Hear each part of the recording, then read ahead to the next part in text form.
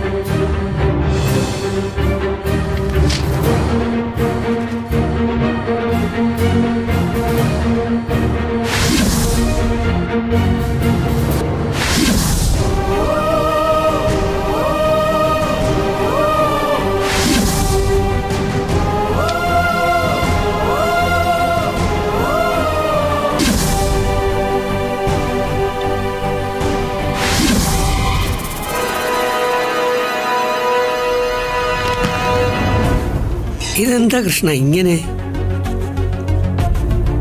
ഡോക്ടറിന് അറിയാലോ എല്ലാ കാര്യങ്ങളും.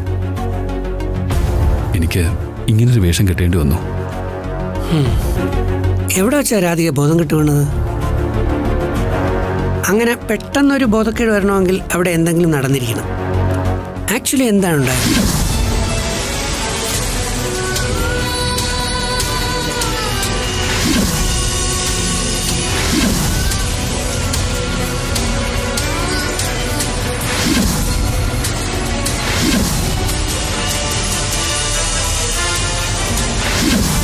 വല്ലാത്തൊരു കുരുക്കിലാണല്ലോ കൃഷ്ണ താൻ വന്നു പെട്ടിരിക്കുന്നത്.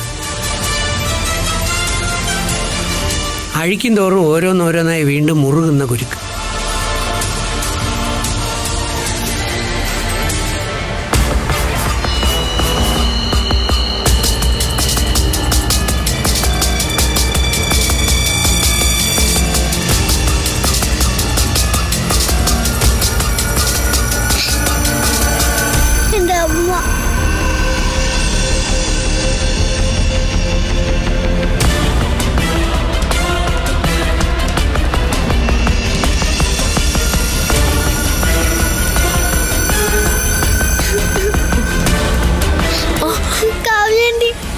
മണിക്കുട്ടി? കരയാതെ മോളെ കരയാതെ. അമ്മയ്ക്ക് ഒന്നും വരില്ല. മോൾ വിഷമിക്കാതിരിക്കെ. കേട്ടോ? രാധികയ്ക്ക് ഇപ്പൊ എങ്ങനെയുണ്ട് മോളെ? എന്റെ അമ്മ. ഡോക്ടർ എന്തെങ്കിലും പറഞ്ഞോ? ഡോക്ടർ അടുത്തേക്ക് അച്ഛൻ